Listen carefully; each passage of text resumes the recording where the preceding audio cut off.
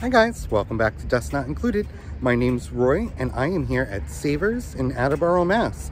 Let's get in here and see if I can find anything to resell.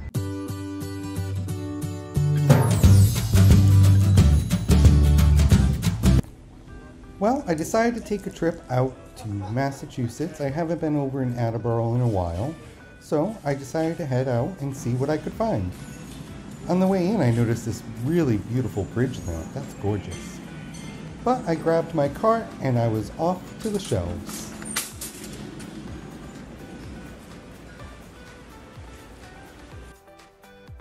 Over here on the first end cap, I noticed right away this great stone owl. It's maybe a soapstone?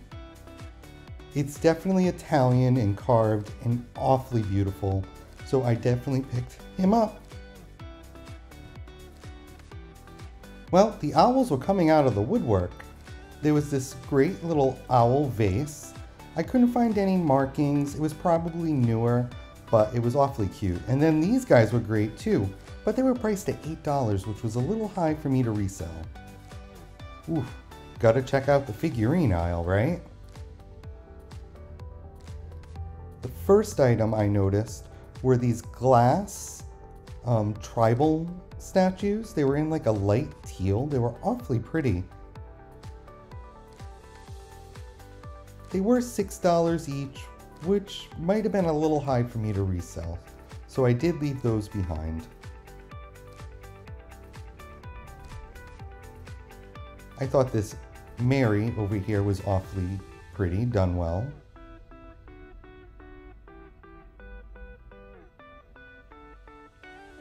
These dolphins shocked me. They were a made in China piece. I think it was probably an older made in China piece. They were kind of fun though, huh? Whoa, this dog has seen something. Check out those eyes. I loved this rooster, but there was a lot of red cold paint missing to the top of his head, so I didn't pick him up. I wish the paint was just a little better. Over here I found this adorable little guy with holding his star behind the moon. I loved him and I picked him up.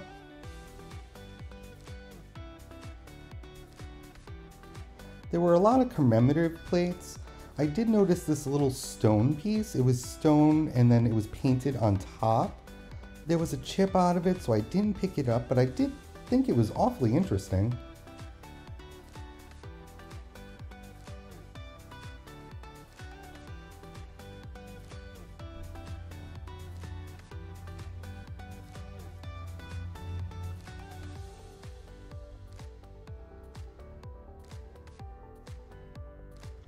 On the top shelf here, I checked out this little hand-painted vase. It was awfully pretty, but it was an anniversary piece, so I did leave it. These cups next to it were kind of fun. They were from a Renaissance fair.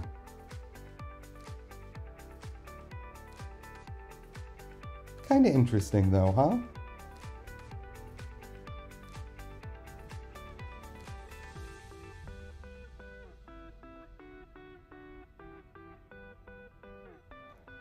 These little figurines here, they were Lenox.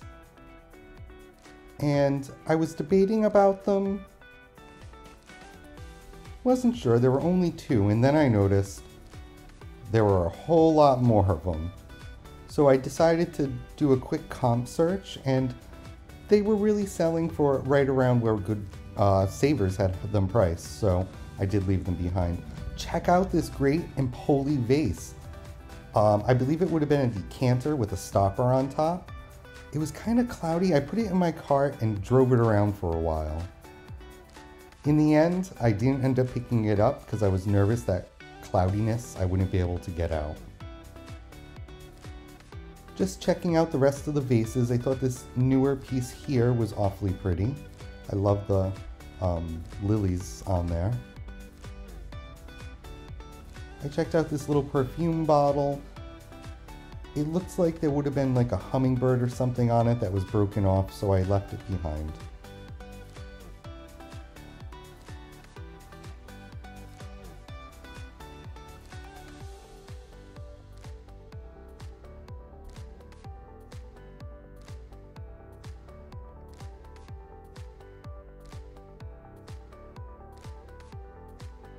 Just checking out what's on the shelves. Not much in the candle section. There was a little bag of um, newer dollar store type angels. I did leave those.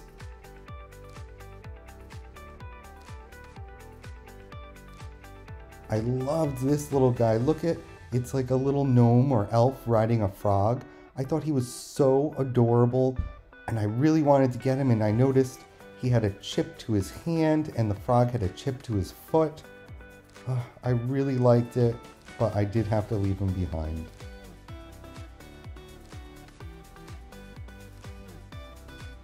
I checked out the little drummer boy next to it. It was an older piece, but I don't know, just a little plain I left him as well.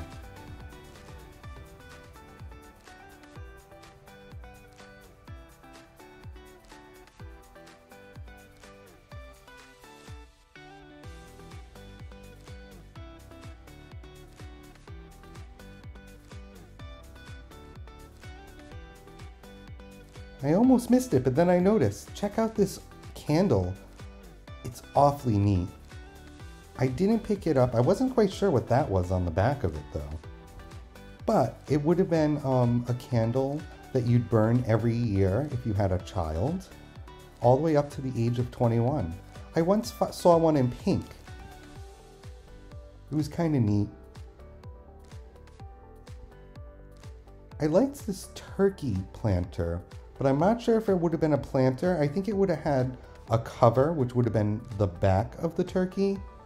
So I did leave him behind because I was unsure if he was complete.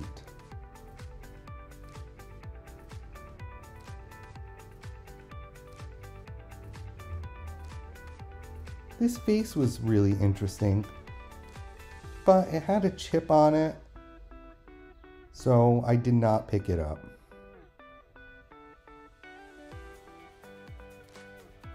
I was checking all the planters, maybe I was hoping to find like a McCoy planter, but no such luck.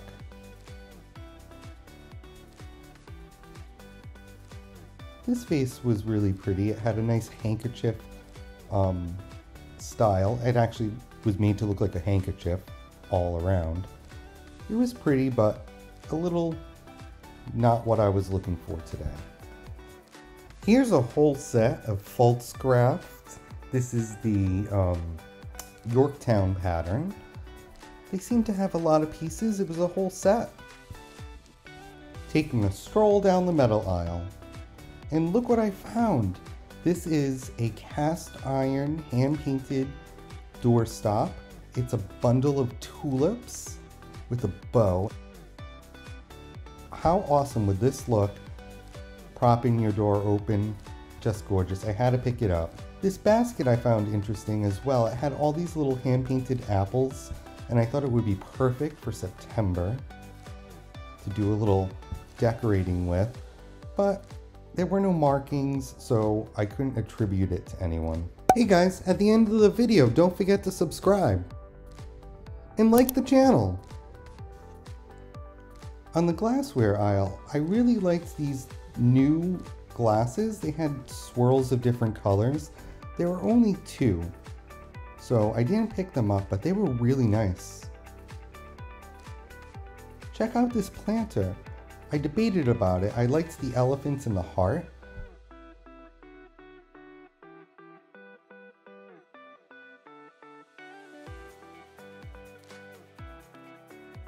I liked this Hull, H-U-L-L bowl here. It was a mixing bowl, but I thought it would be great for popcorn. It did have a few hairlines in it, so I did not pick it up. It was awfully cute. This here is a Fire King baking dish, and these are getting quite popular. This is all hand-painted uh, fruit on here. And I'm going to show you the bottom that labels it Fire King. With the rising prices of Pyrex, Fire King and Glasbake are getting very popular. They have some beautiful designs on them, just like Pyrex. Oh, here's a great example of a Glasbake piece. This one here is a divided dish.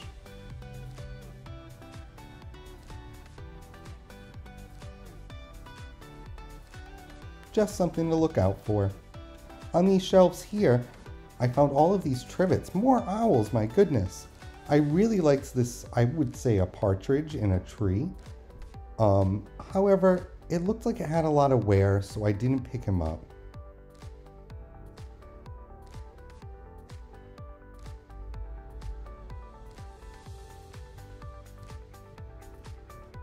This little piece was awfully pretty. It was hand painted.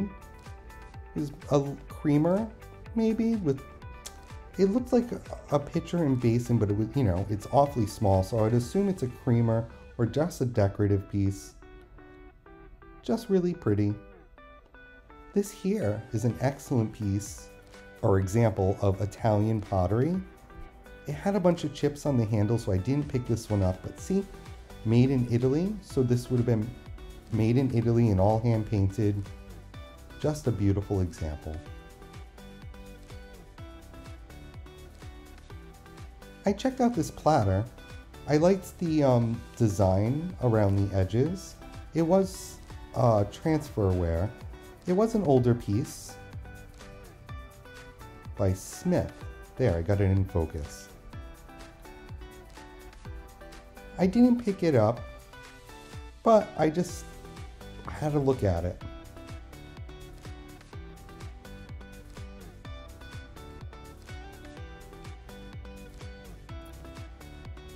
This piece I got excited for, but when I touched it, it felt strange. It's hard to explain, like I don't think that was metal, I think that was a plastic. It felt, I kept tapping it and trying to figure it out. It did not feel like metal, it was more of a plastic.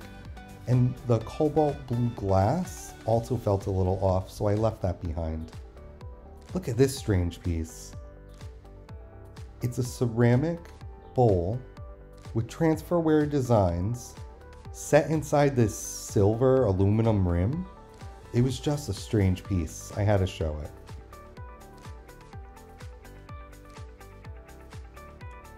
Oh, a Christmas cake stand.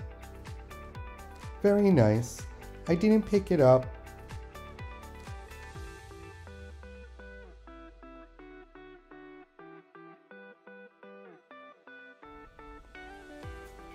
Interesting little picture here.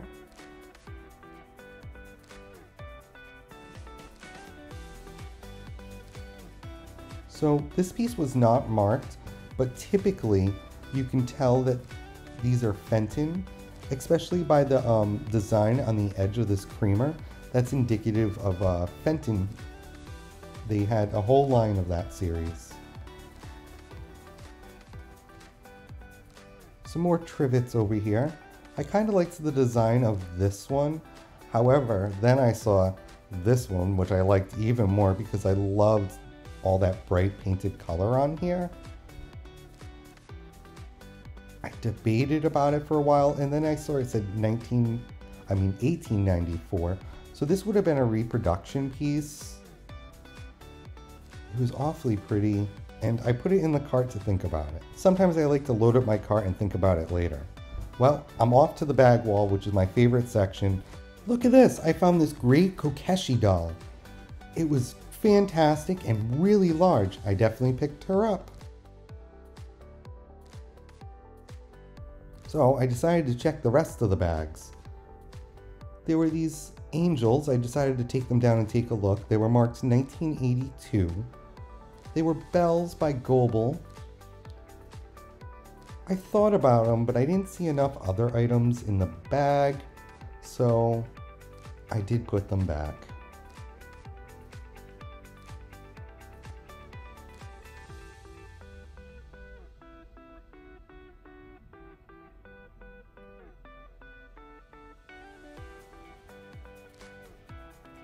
I also looked at this little bag of dolls. They were, they appeared to be handmade.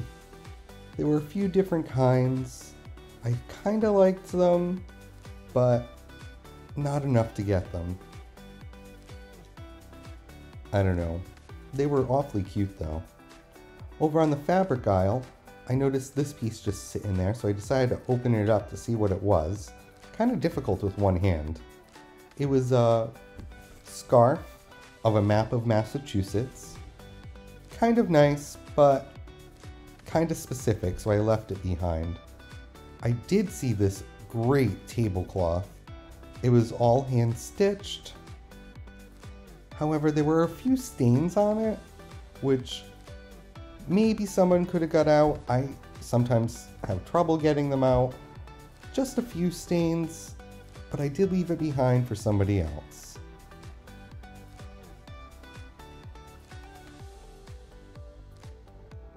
Over on the Afghan aisle, check this out. It was so pretty and colorful. I just loved it. I just couldn't stop staring at it. Yeah, it really was beautiful and vibrant. I debated and I decided to pick it up. I don't usually buy a lot of Afghans, but this one really spoke to me. So it came home with me. It's a nice lightweight, pretty colors.